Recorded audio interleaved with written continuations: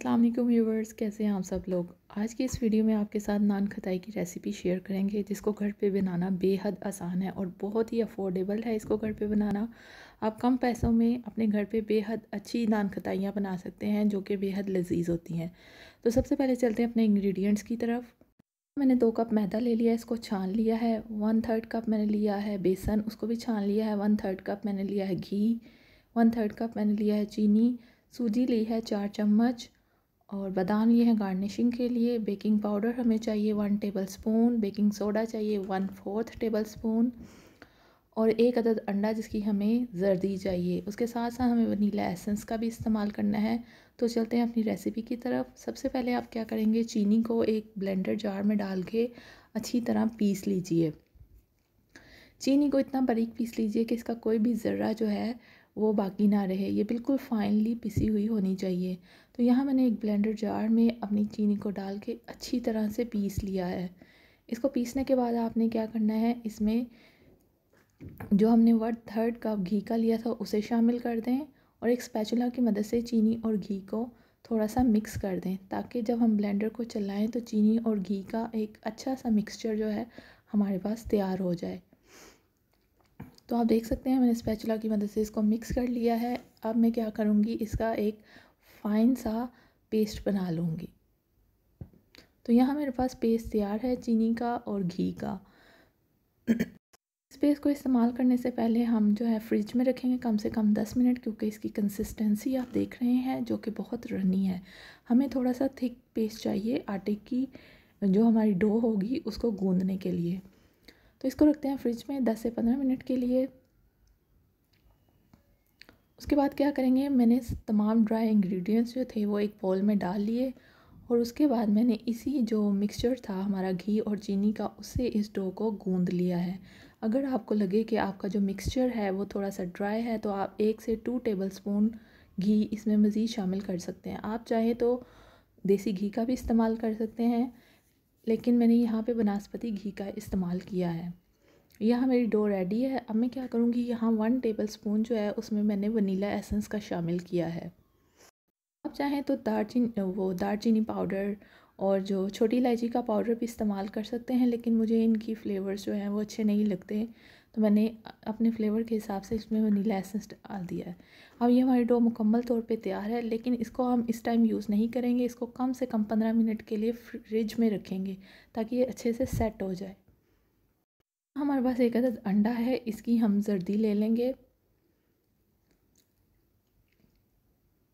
और यहाँ एक पैन लिया है मैंने, ये मेरे पास केक का पैन है, इसको अच्छी तरह धो के ड्राई कर लिया है, इसको ग्रीसी बिल्कुल भी नहीं करना, आपने बस इसको धो लेना और इसको ड्राई करना है अच्छी तरह। और कुछ आलमंड्स हैं मेरे पास जिनको मैं इसकी डेकोरेशन के लिए इस्तेमाल करूँगी। यहाँ अंडे की जर्दी ले ली है, इसको अच्छी तरह हम फेंट लेंगे। ये अंडे की जर्दी जो है, हम उसकी टॉप पे लगाएँगे। यहाँ मेरे पास एक पतीला था, उसके अंदर मैंने ये जो है स्टैंड रख लिया है, इसको बिल्कुल दरमियान में फ़िक्स किया है। अब मैं इसको प्री हीट करूँगी लो फ्लेम पे। इसको आप जब भी पतीले को प्री हीट करें तो लो फ्लेम पे प्री हीट करें और जब आप किसी भी चीज़ को बेक करें तो उसको हाई फ्लेम पे बेक बिल्कुल भी मत कीजिएगा। उसी को लो से मीडियम हीट पे आप बेक कीजिएगा। अदरवाइज़ आपकी जो भी बेकिंग हो रही है वो जल्दी जल जाएगी। तो यहाँ चलते हैं। हमारी डो भी सेट हो चुकी है। अब क्या करेंगे, हम इस डो से छोटे छोटे बॉल्स बना लेंगे और उन बॉल्स के, इतना आपने बॉल्स को बनाना है कि ना वो बहुत ज़्यादा मोटा हो और ना ही बहुत ज़्यादा पतला। दरमियाने साइज़ का जो बिस्किट की शेप है वो दे लेनी है। और इसके लिए आप देखें मैं किस तरह कर रही हूँ, मैं थोड़ा सा ये डो लूँगी अपने हाथ में, उसको मैं राउंड शेप में घुमा लूँगी। जी तो इसको अपनी फिंगर से थोड़ा सा फ्लैट कर लेंगे और इसमें थोड़े से बादाम रख देंगे। मैंने जो बादाम है, उनको दरमियान से काट लिया था, आप चाहें तो काट भी लें या बिल्कुल ऐसे ही इस्तेमाल कर सकते हैं।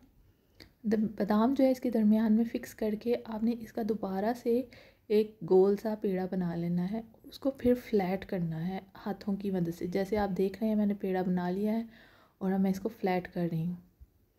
जी तो ये देखें कितना खूबसूरत गोल सा हमारा बिस्किट की जो लुक आई है नान कताई की तो ये देख रहे हैं हम, ये ना तो ज़्यादा बेहद मोटी है और ना ही ज़्यादा ये पतली है। बिल्कुल दरमियाने साइज़ की है, दरमियान से मोटी है और इसके किनारे जो हैं थोड़े पतले हैं। आपने भी बिल्कुल इसी तरह की शेप की बनानी है। दरमियान में एक बादाम को आप इस तरह फ़िक्स कर लें। और एग योग को जो है फेंट के आप किसी भी ब्रश की मदद से इसके ऊपर लगा दें। मेरे पास इस वक्त ब्रश अवेलेबल नहीं है तो मैं इसके चारों तरफ़ जो है वो चम्मच की बैक साइड से ये एग योग लगा लूँगी। एग योग लगाएँगे तो इसको फाइनल जो कलर होगा वो बेहद खूबसूरत होगा। आपको गोल्डन ब्राउन कलर की नान कताइयाँ जो हैं, एक डिलीशियस सा लुक और यमी सा जब आप इसको खाएँगे तो फ्लेवर आएगा। तो यहाँ हम क्या करेंगे, हमारा जो पैन है उसको अच्छी तरह ड्राई कर लेंगे, उसको ग्रीस बिल्कुल नहीं करना। अब यहाँ यू देख रहे हैं, मेरा पैन ड्राई नहीं था तो मैं इसको दोबारा ड्राई कर रही हूँ। ड्राई करने के बाद आपने जो है ये नान खताई इसके अंदर प्लेस कर लेनी है। और हर एक को प्लेस करने के बाद आपने थोड़ा सा गैप ज़रूर देना है, क्योंकि जब हम इसको बेक करेंगे, ये अब फूलेंगी, ऐसा ना हो ये आपस में एक दूसरे के साथ जुड़ जाए। तो गैप देना बेहद ज़रूरी है। तो यहाँ मैंने चार अदद जो हैं खताइयाँ पेस्ट यहाँ लगा रख ली हैं अपने पैन में। अब मैं इसको प्री हीटेड जो हमारा पतीला था उसमें रखूँगी।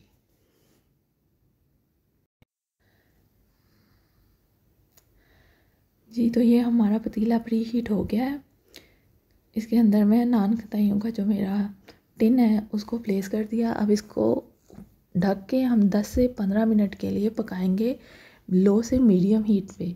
आपने जो हीट है, उसको बिल्कुल भी तेज़ नहीं करना। आप, वरना आपकी नान खताइयाँ बहुत जल्दी जल जाएँगी और ख़राब हो जाएँगी। आपके पैसे वेस्ट तो यहाँ 10 से 15 मिनट हो चुके हैं, इनको चेक करते हैं। जी तो बेहद खूबसूरत सा कलर आया है और ये फूल रही हैं, लेकिन अभी ये रेडी नहीं है तो हम इसको कम से कम दस मिनट और पकाएँगे। जी तो दस मिनट और गुजर चुके हैं ऑलमोस्ट ट्वेंटी मिनट्स हो गए हैं। अब हमने क्या करना है, इनको चेक करते हैं। मैंने यहाँ पे एक स्क्यूअर की मदद से इनको चेक किया। आपके पास छुरी हो तो या कुछ भी अवेलेबल हो, आप उसके दरमियान में हल्का सा प्लेस करें और देखें कि कुछ भी मटेरियल आपके स्क्यूअर्स या आपके किसी टूल पे नहीं लग रहा तो ये बिल्कुल रेडी है। इनको हम पतीले से बाहर निकाल लेंगे और ठंडा होने के लिए रख देंगे। एक बात यहाँ पे ये याद रखिएगा कि इनको फटाफट पैन से निकालने की कोशिश मत कीजिएगा, इनको कम्प्लीटली कूल होने दीजिएगा। अदरवाइज़ ये बिल्कुल टूट जाएँगी और ख़राब हो जाएँगी। जी तो यहाँ ठंडी होने के बाद मैंने निकाल ली हैं और आप देख सकते हैं कितनी खूबसूरत ये तैयार हुई हैं बन के और ये बेहद डिलीशियस हैं। और इनका कलर आप चेक करें कितना खूबसूरत है। यहाँ मैंने अपनी बाकी की भी नान खताइयों को इसी तरह एक प्लेट पे लगा लिया है। अब इसको हम बेक करेंगे। जी तो ये है उनकी फ़ाइनल लुक, बेहद खूबसूरत है, इन पर बेहद अच्छा गोल्डन कलर आया है। तो चलते हैं इनकी फ़ाइनल लुक की तरफ़। उम्मीद है कि आपको आज की ये वीडियो बेहद पसंद आई होगी। आप मेरे चैनल को सब्सक्राइब ज़रूर कीजिएगा, इस वीडियो को लाइक ज़रूर कीजिएगा और बेल आइकन को हिट ज़रूर कीजिएगा। मिलते हैं अगली वीडियो में।